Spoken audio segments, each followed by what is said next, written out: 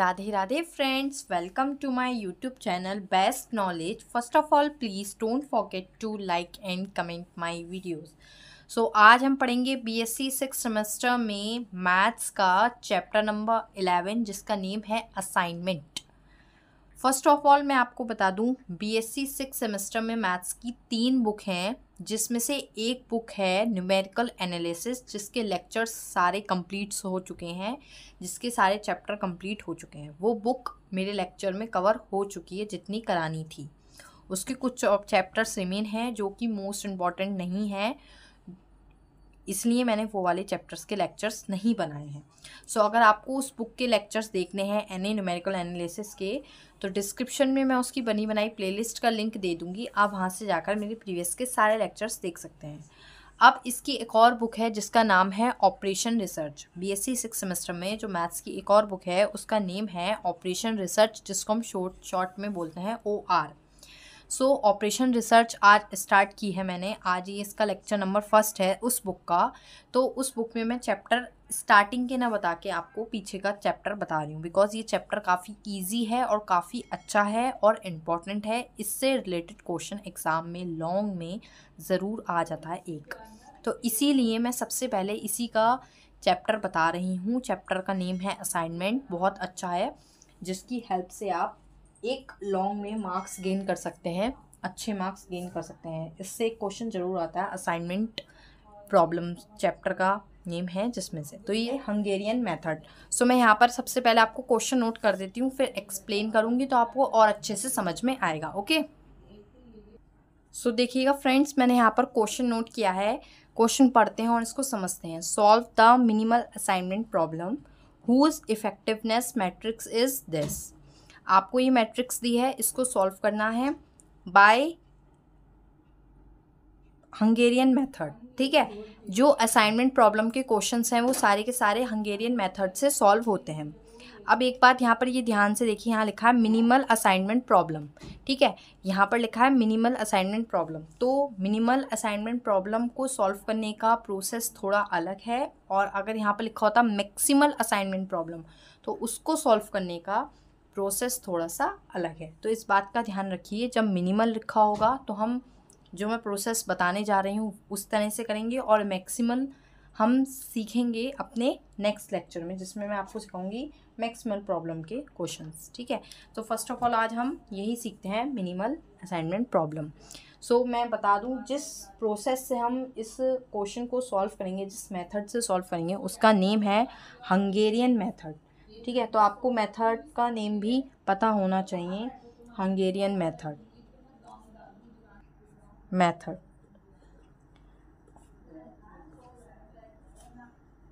ठीक है, अब हम इसके प्रोसेस को सीखते हैं. तो firstly firstly we shall check problem should be balanced it means that effectiveness matrix is in the square matrix ठीक है? समझे? सबसे पहले हम ये चेक करेंगे कि जो हमारी प्रॉब्लम है, वो बैलेंस है या नहीं है। अगर बैलेंस है तो हम उसको स्क्वायर मैट्रिक्स कहेंगे। देखिए कैसे ये रो होती हैं, ठीक है? और ये कॉलम होते हैं, ठीक है? सो देखिए, यहाँ पर रो कितनी है? R one R two R three and R four यहाँ पर रो कितनी है? फोर कॉलम कितने हैं? C one C two C three and C four तो कॉलम भी यहाँ पर फोर है ठीक है? तो रो भी फोर है यहाँ पर और कॉलम भी फोर है। तो number of rows is equal to number of column जब होते हैं तो हम उसको क्या बोलते हैं? Square matrix so first of all हमें यही चेक करना था कि जो हमारी मैट्रिक्स है वो बैलेंस है या नहीं? तो बैलेंस है because number of row and number of column equal है ठीक है? सो so, हमने चेक किया स्क्वायर मैट्रिक्स है। क्योंकि जब हम असाइनमेंट प्रॉब्लम सॉल्व करते हैं अभी हम बैलेंस कंडीशन में सॉल्व कर रहे हैं ठीक है? जब हम कुछ अभी हम ऐसी प्रॉब्लम्स भी पढ़ेंगे जहाँ पर अनबैलेंस्ड होगा तो अनबैलेंस्ड के लिए प्रोसेस अलग होता है। सो so, इसको बड़ा ध्यान से समझने की कोशिश कीजिए। इसमें फोर स्टेप में क्वेश्चन हो जाता है बट समझने की नीड होती है ठीक है? तो फ़र्स्ट ऑफ़ ऑल हमने देख लिया कि हमारी बैलेंस है कि नहीं। फ़र्स्ट स्टेप अब हम करते हैं फ़र्स्ट स्टेप सबसे फ़र्स्ट स्टेप में क्या करते हैं? स्टेप फ़र्स्ट का नेम होता है रो रिडक्शन। अभी पढ़ते हैं रो रिडक्शन का यहाँ पर कैसे यूज़ होना है। सो so, इसको बोलते हैं फ़र्स्ट स्टेप को रो रिडक्शन। इसमें क्या करते हैं? अगर मैं प्रॉपर लैंग्वेज में बोलूँ select the smallest element in each row and subtract it from all the elements of that row okay it means मैंने बोला सेलेक्ट द स्मॉलेस्ट एलिमेंट ठीक है? इन ईच रो हमें क्या करना है? हर रो में से एक स्मॉलेस्ट एलिमेंट को सिलेक्ट करना है। जैसे इस फ़र्स्ट रो में स्मॉलेस्ट एलिमेंट क्या है? टू थ्री फोर फाइव इन चारों एलिमेंट्स में से सबसे स्मॉलेस्ट एलिमेंट है टू ठीक है? Then subtract it from all the elements of the of that row इस रो में जितने भी सारे एलिमेंट्स हैं, उनसे हमें सब्ट्रैक्ट कर देना है। देखिएगा कैसे मैं यहाँ पर टेबल बनाकर आपको दिखाती हूँ। ठीक है? फ़र्स्ट ऑफ़ ऑल मैं यहाँ पर टेबल बना ले रही हूँ। तो जैसे फ़र्स्ट रो में सबसे स्मॉलेस्ट एलिमेंट है टू तो टू में से सारे एलिमेंट्स हमें माइनस करने हैं. टू में से टू गया ज़ीरो थ्री में से टू गया वन फोर में से टू गया टू एंड फाइव में से टू गया थ्री इस तरह से ही हमें रो थ्री में करना है रो टू में रो फोर में. सब में ऐसे ही करना है. देखिए कैसे. अब रो टू में सबसे स्मॉलेस्ट एलिमेंट कितना है? फोर फोर में से फोर गया ज़ीरो फाइव में से फोर गया वन सिक्स में से फोर गया टू सेवन में से फोर गया थ्री ठीक है?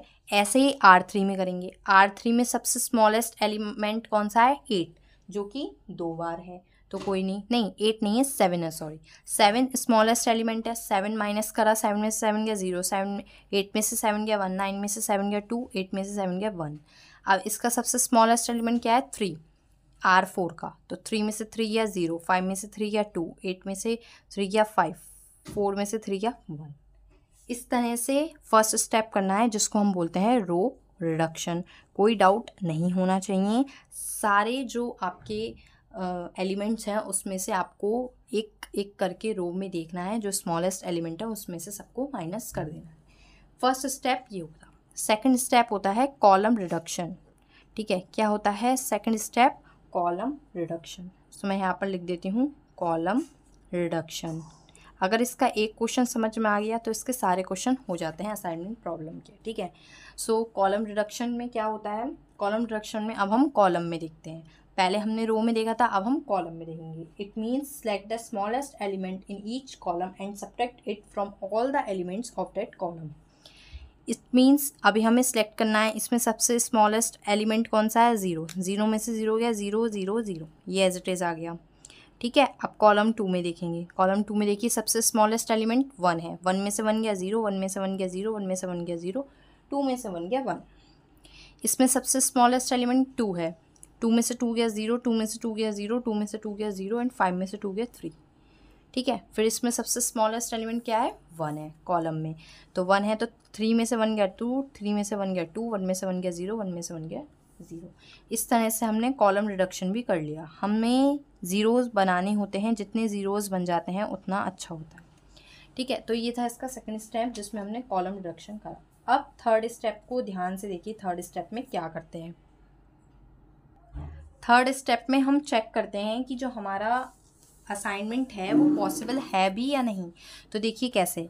स्टेप थर्ड में हम कह सकते हैं टेस्ट इस तरह से लिख सकते हैं हम test whether assignment is possible और नॉट सबसे पहले हमें देखना होता है कि हमारा असाइनमेंट पॉसिबल है भी या नहीं। अगर नहीं होता है तो हम क्वेश्चन को यहीं छोड़ देते हैं और लिख देते हैं कि assignment hence assignment is not possible अगर पॉसिबल होता है तो आगे का प्रोसेस करते हैं। ठीक है? स्टेप फोर करते हैं। सो so, सबसे पहले हम चेक करेंगे। तो इसके लिए क्या करते हैं? सबसे पहले मैं आपको लैंग्वेज में बता देती हूँ।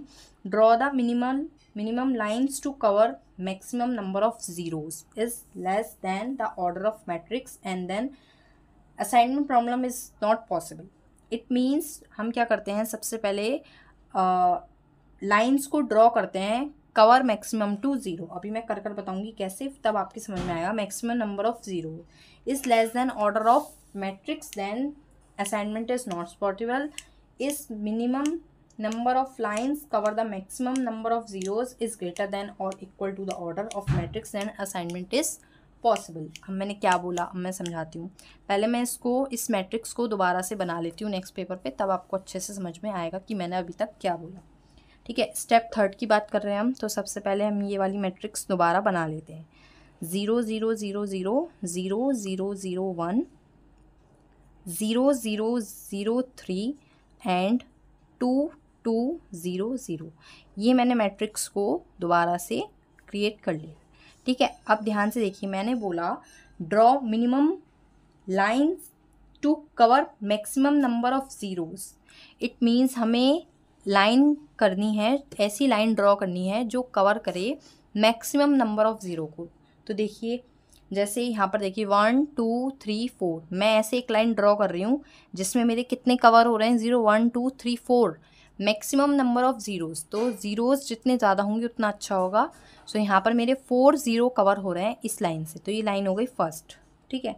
सेकंड देखिए जो ज़ीरो कवर हो गया उसको काउंट नहीं करना है। अब मैं ये वाली लाइन ड्रॉ कर रही हूँ। इससे कितने हो रहा है? वन टू एंड थ्री तो सेकंड लाइन मेरी ये है इससे मेरे थ्री ज़ीरो कवर हो रहे हैं। फोर ज़ीरो कवर नहीं हो रहे हैं बिकॉज़ ये वाला जो ज़ीरो है ये फ़र्स्ट लाइन में कवर हो चुका है। जो ज़ीरो कवर हो चुका है उसको हम काउंट नहीं करेंगे। सो so, ये फ़र्स्ट लाइन में ये वाला ज़ीरो कवर हो चुका है थर्ड वाला इसलिए इसको काउंट नहीं करा है। वन टू थ्री ज़ीरो हैं जो इससे कवर हो रहे हैं। तो ये हो गया आपका सेकेंड अब देखिए ऐसे करिए। थर्ड लाइन मैंने ड्रॉ करी है इसमें कितने ज़ीरो कवर हो रहे हैं? टू ज़ीरो बिकॉज़ ये वाला नहीं काउंट करेंगे ये सेकेंड लाइन में कवर हो चुका है। ऐसे ही हम ये वाला ड्रॉ करेंगे इससे आपकी फोर्थ लाइन ड्रॉ हो रही है और इससे आपकी फिफ्थ लाइन ड्रॉ हो रही है। तो यहाँ पर आपकी कितनी लाइन्स ड्रॉ हुई हैं? आपको ये ध्यान से देखना है काउंट करना है कितनी लाइन्स ड्रॉ हुई हैं? One two three four and five आपकी यहाँ पर फाइव लाइन्स ड्रॉ हुई हैं। अच्छा आपकी जो मैट्रिक्स थी वो कितने की थी? One two three four one two three four four by four की मैट्रिक्स थी जिसमें फोर रोज थी एंड फोर कॉलम्स थी। फोर बाय फोर की मैट्रिक्स थी। अगर आपकी लाइंस जो आपने ड्रॉ करी हैं, वो ज़्यादा होती हैं आपकी मैट्रिक्स से। फोर बाय फोर की थी, यहाँ पर फाइव लाइन है। ठीक है? या फिर उसके इक्वल होती हैं तो तो असाइनमेंट प्रॉब्लम पॉसिबल होती है। यहाँ पर फाइव लाइन है, फाइव लाइन ड्रॉ हुई हैं और फोर बाय फोर की मैट्रिक्स थी। तो यहाँ पर जो असाइनमेंट है, वो यहाँ पर पॉसिबल है। ठीक है? अगर इसके इक्वल भी होती, फोर भी लाइन्स ड्रॉ होती तो फोर बाय फोर की मैट्रिक्स है और फोर ही लाइन ड्रॉ हुई हैं, तभी भी असाइनमेंट प्रॉब्लम पॉसिबल होती। बट उससे कम होती थ्री लाइन्स ड्रॉ होती, लेकिन यहाँ पर फोर बाय फोर की मैट्रिक्स है तो वहाँ पर असाइनमेंट प्रॉब्लम नहीं होती, आपका क्वेश्चन यहीं रुक जाता। ठीक है? अगर कम की होंगी तो असाइनमेंट प्रॉब्लम पॉसिबल नहीं होगा। यही बात मैंने बोली थी, यही बात मैं आपको समझाना चाह रही थी कि if less than the order of matrix, then assignment problem is not possible if minimum number of lines cover the maximum number of zero is greater than or equal to the order of matrix then assignment problem is possible ठीक है अब बात कर लेते हैं step third तक तो आपको क्लियर हो गया होगा तो आप यहाँ पर ये लिखेंगे hence assignment problem is possible assignment problem जो है आपकी पॉसिबल है। तब हम आगे बढ़ते हैं अपने फर्दर स्टेप में स्टेप फोर ठीक है लास्ट स्टेप है, ध्यान से देखिए बिल्कुल। फ़र्स्ट स्टेप में रो रिडक्शन सेकेंड स्टेप में column reduction and third step में हम चेक करेंगे कि हमारा जो प्रॉब्लम है असाइनमेंट है, वो पॉसिबल है या नहीं है। है तो स्टेप फोर करते हैं। स्टेप फोर में क्या करते हैं? टू मेक ज़ीरो असाइनमेंट मतलब हम यहाँ पर ज़ीरो असाइन करते हैं। देखिए कैसे मैं आपको बता देती हूँ। टू मेक ज़ीरो असाइनमेंट देखिए, सबसे पहले मैं यहाँ पर ये फिर से मैट्रिक्स बना लेती हूँ। Zero zero zero zero zero zero zero one zero zero zero three two two zero zero ये मैंने मैट्रिक्स को बना लिया है। ठीक है? इस पर लिख लीजिए फ़र्स्ट सेकंड थर्ड, फोर्थ। अभी तक मैंने नहीं लिखा था टू स्टेप में थ्री स्टेप में फोर्थ वाले स्टेप में ज़रूर लिख लीजिएगा बिकॉज़ फोर्थ वाले स्टेप में इसकी नीड होगी। लास्ट वाले स्टेप में जो आपको दिया हुआ होगा, यहाँ पर first second third fourth A B C D आप यहाँ पर लिख लीजिए। जो भी दिया हो वही लिख लीजिए। क्वेश्चन में गिवन होगा तो कोई डाउट की बात है नहीं। अब ज़ीरो साइन करते हैं। कैसे साइन करते हैं ज़ीरो देखिए, जैसे मैंने सपोज़ ये वाला ज़ीरो साइन करा ठीक है, ऐसे करके बॉक्स बना लीजिए। जिसको आप असाइन कर रहे हैं, ये वाला ज़ीरो असाइन करा, इस पर बॉक्स बना लिया। अब इसके जो अलोंग होगा, उसको हम कट कर देंगे। इसके अलोंग क्या है? ये। सो हम इसके अलोंग कट कर देंगे। ये वाला ज़ीरो गया, ये वाला ज़ीरो गया, इधर ज़ीरो गया, इधर ज़ीरो गया, इधर ज़ीरो गया। इसके अलोंग परपेंडिकुलर और वर्टिकल ये वाला ज़ीरो असाइन करा, इसके परपेंडिकुलर और इसके वर्टिकल जितने भी ज़ीरो हैं, वो सारे कैंसिल हो जाएँगे। अब सेकंड हमने ये वाला ज़ीरो असाइन करा। तो इसके अलोंग ये वाला ज़ीरो गया और ये वाला ज़ीरो गया। थर्ड हमने इसके अलोंग करा। जब इसको असाइन करा तो इसके अलोंग तो पहले ही कट हो चुके हैं वर्टिकल ये गया। और फोर वाला हमने ये वाला ज़ीरो असाइन किया। ठीक है? इस तरह से आपको ज़ीरो असाइन करने हैं और ज़ीरो असाइनमेंट बनाना है। जैसा कि मैंने लिखा है टू मेक ज़ीरो असाइनमेंट अच्छा आप ये डाउट में मत रहिए। कि हमने मैम ये वाला ज़ीरो क्यों असाइन करा? हम ये वाला भी कर सकते थे। आप कोई सा भी ज़ीरो पहले असाइन कर सकते हैं। ऐसा कुछ नहीं है कि आपको स्टार्टिंग से ही देखना है। आप कोई सा भी ज़ीरो पहले असाइन कर सकते हैं। बस इतना ध्यान रखना है कि उसके वर्टिकल और उसके अलोंग आपको परपेंडिकुलर आपको ज़ीरोज़ को कैंसिल करना है, ठीक है? उसके अलोंग जितने भी ज़ीरोज़ हैं, वो सारे कैंसिल होंगे। ये बात का ध्यान रखना है। और ऐसा ज़ीरो असाइन करने की कोशिश कीजिए जिससे ज़्यादा से ज़्यादा ज़ीरो आपके कैंसिल हो रहे हो। कोई ज़ीरो से आपके टू ज़ीरो कैंसिल हो रहे हो, किसी ज़ीरो से आपके थ्री ज़ीरो कैंसिल हो रहे हो तो आपको वो वाला ज़ीरो लेना होगा जिससे आपके ज़्यादा ज़ीरोज़ कैंसिल हो रहे होंगे। ठीक है कॉन्सेप्ट को समझने की कोशिश करिए। थोड़े से क्वेश्चन कॉम्प्लिकेटेड होते हैं इसके बट अगर ध्यान से समझा जाए तो समझ में आ जाते हैं। ठीक है, मैं अच्छे से अच्छा समझाने की आपको कोशिश कर रही हूँ। अब आपकी यहाँ तक बात ख़त्म हो गई है। अगर मैं इसको लैंग्वेज में बताऊँ तो इसको कहते हैं to select the single zero element in each row and each column and cross all zero element in front of the select zero क्या बोला? To select the single zero एक सिंगल ज़ीरो को सिलेक्ट कीजिए। Element in each row and each column, each row में से और each column में से। And corresponding and cross out all zero and cross out cross out कीजिए all zero in front of the select zero select zero के जो front में आ रहे हैं, वो सारे ज़ीरो क्रॉस आउट कीजिए। Corresponding rows and column column और रो के करस्पॉन्डिंग क्लियर अब यहाँ तक आ गया। इसको हम और भी तरह से असाइन कर सकते हैं। जैसा मैंने आपको बताया, कोई सा भी और ज़ीरो पहले ले सकते हैं। वो मैं नहीं बता रही मैं सिर्फ़ एक ही बता रही अब स्टेप फाइव क्या होता है? लास्ट स्टेप है, अच्छे से समझिए। मतलब मेन तो यहाँ तक प्रोसेस है। यहाँ से आगे जो स्टेप फाइव है, ये आराम से बच्चा कर लेता है। अब हम क्या करते हैं? असाइनमेंट को एलोकेट करते हैं। देखिए कैसे लिखेंगे। हैंस असाइनमेंट एलोकेट आर देखिए कैसे? ए पर कितना असाइन किया हमने? फ़र्स्ट वाला ज़ीरो तो ए फ़र्स्ट इस तरह से लिखते हैं। बी पर कितना क्या है? सेकंड वाला। बी सेकंड सी पर कितना क्या है हमने? थर्ड वाला। थर्ड एंड डी पर कितना क्या है हमने? फोर वाला। अभी तो हमारा बिल्कुल पर्टिकुलर आ गया। ए पर फ़र्स्ट बी पर सेकंड सी पर थर्ड डी पर फोर्थ कभी कभी मैट्रिक्स में अलग भी आ जाता है। अगर मैं सबसे पहले ये वाला ज़ीरो ले लेती तो मेरा कौन सा आ जाता? जैसे ये वाला ज़ीरो ले लेती सपोज़ मैं, ऊपर ये वाला ज़ीरो तो क्या होता? है ए पर सेकंड एलोकेट हुआ है। बी पर फ़र्स्ट वाला ले लेती बी पर फ़र्स्ट वाला। सी पर मैं ये वाला ले लेती या फिर ये वाला ले लेती तो सी पर थर्ड वाला। तो ऐसा कुछ नहीं है। या मैं पहले ये वाला ज़ीरो लेके, ये वाली करस्पॉन्डिंग इसके कट कर देती। तो डी पर आ जाता फ़र्स्ट एलोकेट तो आप जब जैसे असाइन करेंगे, उसके अकॉर्डिंग आपको यहाँ पर एलोकेशन लिखनी है। ये क्लियर हो गया। अब आपको क्या करना है, जो आपको मैट्रिक्स गिवन थी, उस पर वापस जाना है, उसको वापस देखना है अच्छे से। ए पर फ़र्स्ट है। ए पर फ़र्स्ट क्या नंबर है? टू तो लिख दीजिए टू ठीक है? बी पर सेकंड है। बी पर सेकंड बी पर सेकंड क्या है नंबर फाइव प्लस करके लिखना है आपको फाइव सी पर थर्ड है। सी पर थर्ड है। थर्ड क्या नंबर है? नाइन लिख दीजिएगा। प्लस नाइन प्लस डी पर फोर है फोर्थ डी पर क्या नंबर है? फोर लिख दीजिएगा फोर। ये सारे नंबर आपको लिखने हैं और ऐड करना है। इन सबको ऐड किया तो आंसर आया ट्वेंटी ठीक है? सो so, आपकी जो असाइनमेंट प्रॉब्लम है वो सॉल्व हो चुकी है एंड आंसर भी आ चुका है ट्वेंटी। तो इस तरह से मैट्रिक्स को असाइनमेंट प्रॉब्लम बनाकर सॉल्व करने का ये मेथड हंगेरियन मेथड कहलाता है और क्वेश्चन ऐसे ही होंगे मिनिमल असाइनमेंट प्रॉब्लम के, ठीक है? अब हम अपने नेक्स्ट लेक्चर में मैक्सिमल असाइनमेंट प्रॉब्लम के क्वेश्चंस करेंगे और उससे नेक्स्ट लेक्चर में हम अनबैलेंस्ड मैट्रिक्स के लिए सॉल्व करना सीखेंगे। अभी तो हम बैलेंस वालों के लिए सीख रहे हैं, जहाँ पर स्क्वायर मैट्रिक्स है। Number of row and number of column is equal अभी हम वहाँ पर ऐसे भी सीखेंगे जहाँ पर number of row and number of column equal नहीं होंगे अनबैलेंस मैट्रिक्स के लिए। आई थिंक फ्रेंड्स आपको क्लियर हो गया होगा। फिर भी कोई डाउट हो तो मुझे कमेंट बॉक्स में ज़रूर बताएँ। Thank you friends for watching my video please share like and comment more more more Radhe Radhe friends